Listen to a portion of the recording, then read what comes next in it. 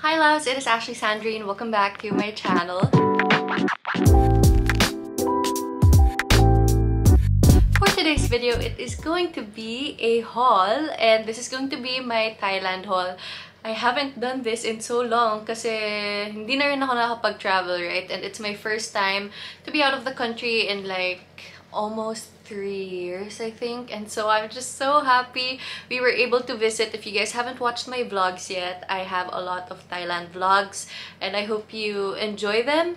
But a lot of you were asking for a haul. Nag-shopping kami sa Platinum and sa Platinum kasi para siyang malaking Changge na isang building siya and then It's air-conditioned and then there's just so many stalls full of clothes, ganyan. Perfect siya for girls kasi yung sa guys, parang one floor lang siya. Pero sa girls, parang three or four floors. So, sobrang sulit. But um, this one is just going to be all the things I got sa buong trip ko.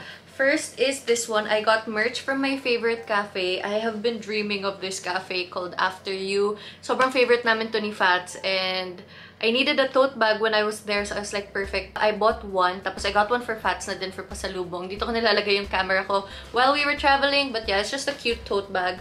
And if you guys are in Thailand, try out their cafe. Super good milk buns, super good um, limeade, tapos okay din naman yung mga tea and coffee nila. They also have, it's really, really yummy. And then, I got socks. This one is from Platinum na. Um, kumuha lang ako ng mga ganito kasi cute yung top nila na ganyan. Kahit kita siya sa shoes, cute nung details niya dito. So, 4 for 100 baht. So, affordable siya. There's this. And then this one, really cute din. Yan. And then, meron din ito. Polka dots lang. Tapos, yan. And then, this one, which is striped.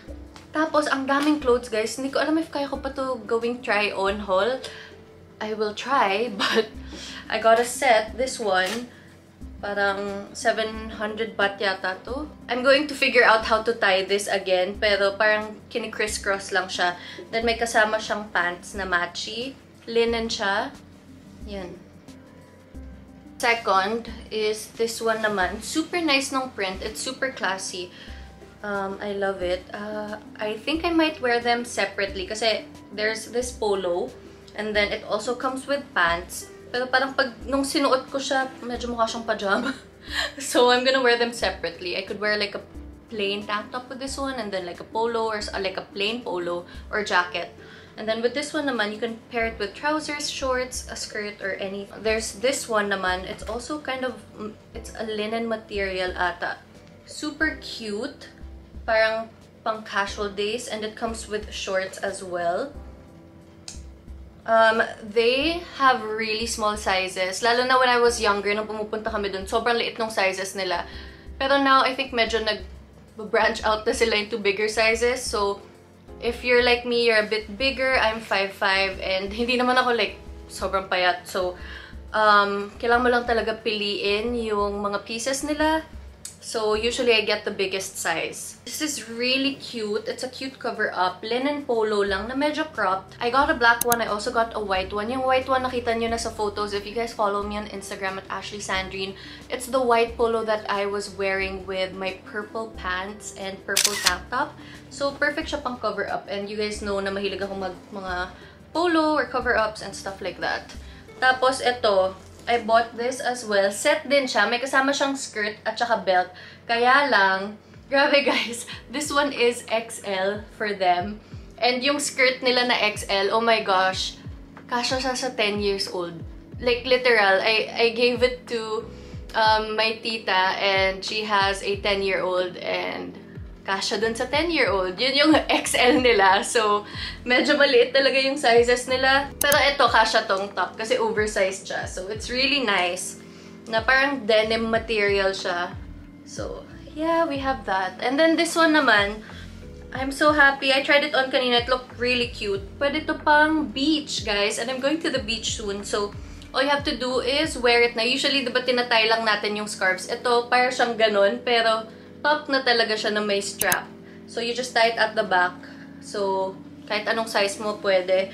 I got two prints. Got this one. And we have a pink one as well. Pink and like turquoise. Cute. Ayan.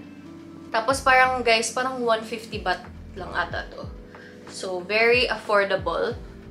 This one, I think I got it for around 300 plus. It is a knit tank top. Really good quality, guys. It looks so classy. And it comes with this beautiful cardigan. Look. So nice, di ba? Sa Changi lang nila to. This isn't from Platinum. I bought it in CM Square na Changi. 350 for both. So, if you guys want to convert it, it's just times 1.5. Pero, sobrang, sobrang nice talaga. Tapos, guys, sobrang dami kong tweed pieces na nakuha. And, in-explain ko nga sa vlog ko na ito talaga yung mga pieces na kinukuha ko when, when I'm in Thailand. Kasi sobrang hirap niya hanapin dito. And it's also really expensive. Like, if you were to buy it in Zara, it would be like 5,000 plus per piece. I paid like 4,800 pesos for 7 tweed pieces, guys. These are the pieces, guys. Grab it. They're really, really beautiful. Like, you'd think they were like Chanel or Dior. Ganyan. Like, sobrang ganda talaga. And ito may sizes sila. So, that's really good. I got this one. And then, we have this one. Ito naman more of like, ano lang, parang a vest. Super cute as well.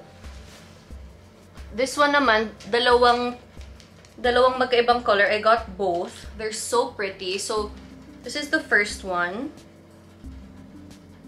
Short sleeved. Really nice material. Really nice quality.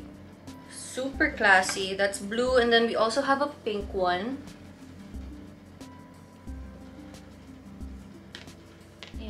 so, so, so pretty.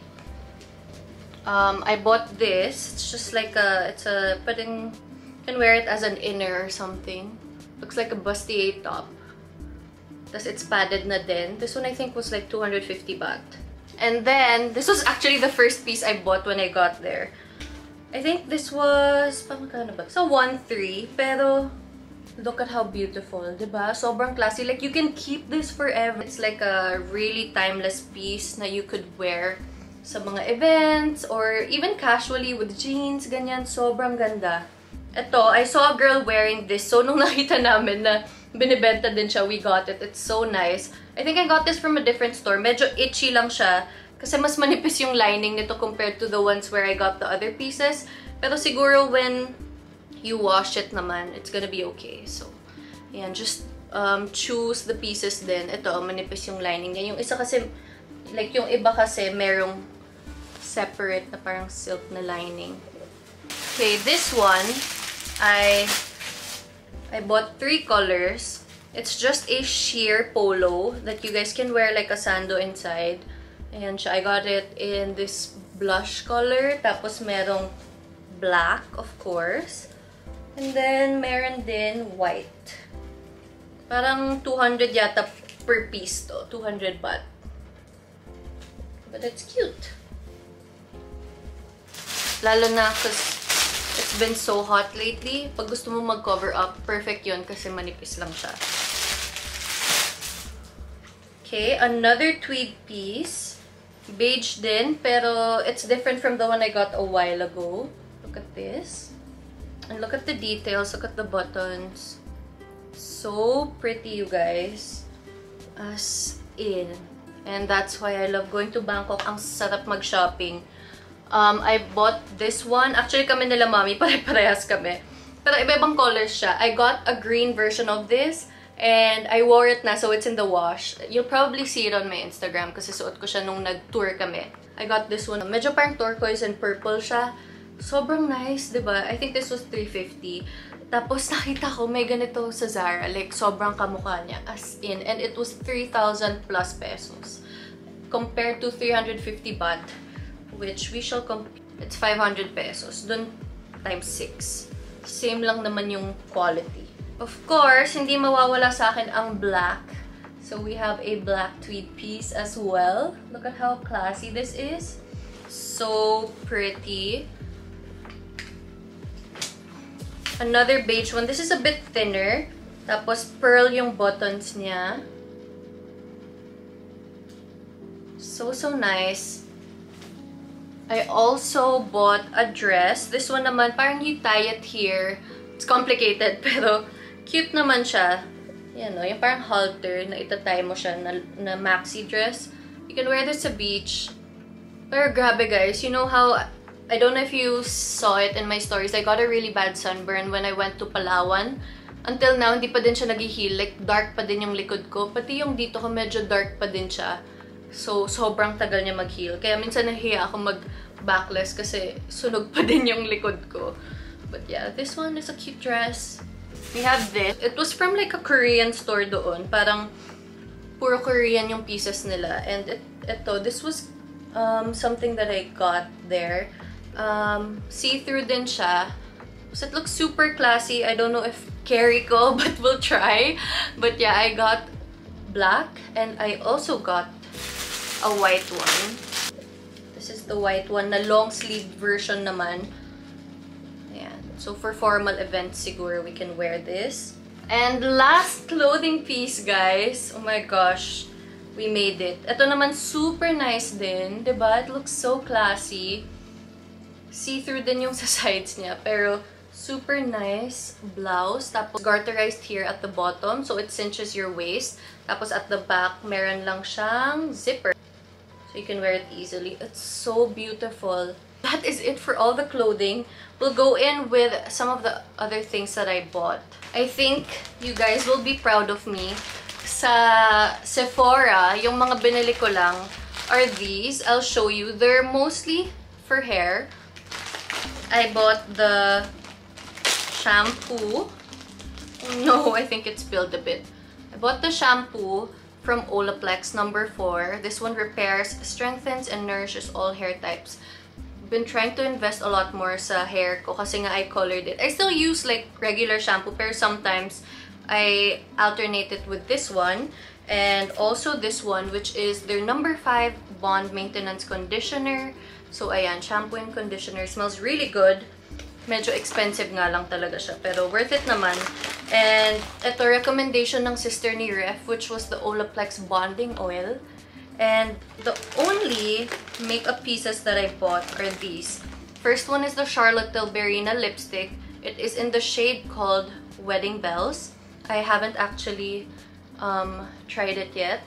Pero it looked like a really cute color. So, tapos sila mami got it din. So, sabi ko, sige, I'll get na lang din. I bought the Positive Light na tinted moisturizer from Rare Beauty. I wore this once. Okay din siya if you want something super light lang. Lalo na since nagmamask naman tayo. So, yan. This, hindi ko pa inopen para I can show you the packaging. This one is the Pat McGrath Labs Skin Fetish Sublime Perfection Blurring Under Eye Powder. Ang haba ng name, pero ayan siya. When I tried the powder on dun sa tester nila, like, I felt it. It felt so, so nice. Like, parang siyang velvet or something. I don't know. Sobrang ganda nung finish niya. So, I'm super excited to use it. And ito, nakita ko lang sa 7-Eleven nila. They had Pond's na 3D Korean Glow Translucent Powder. So, I was just very curious. And, ayan, bumili ako. Sa 7-Eleven lang nila. Those are the only makeup stuff that I got. Usually, I go crazy pag nasa Sephora kami. But this time, since I have quite a bit of makeup, I decided na I wouldn't get muna. Let's go in with shoes. These are the only pairs that I got.